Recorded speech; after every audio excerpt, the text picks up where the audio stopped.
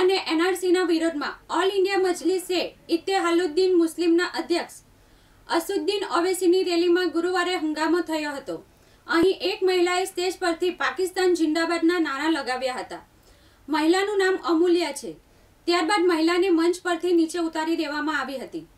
દેશદ્રોહનો case નોંધાયા પછી મહિલાને ચૌદ દિવસ માટે જેલ મોકલી દેવામાં આવી છે. તો કરીએ એક નજર ઘટના પર.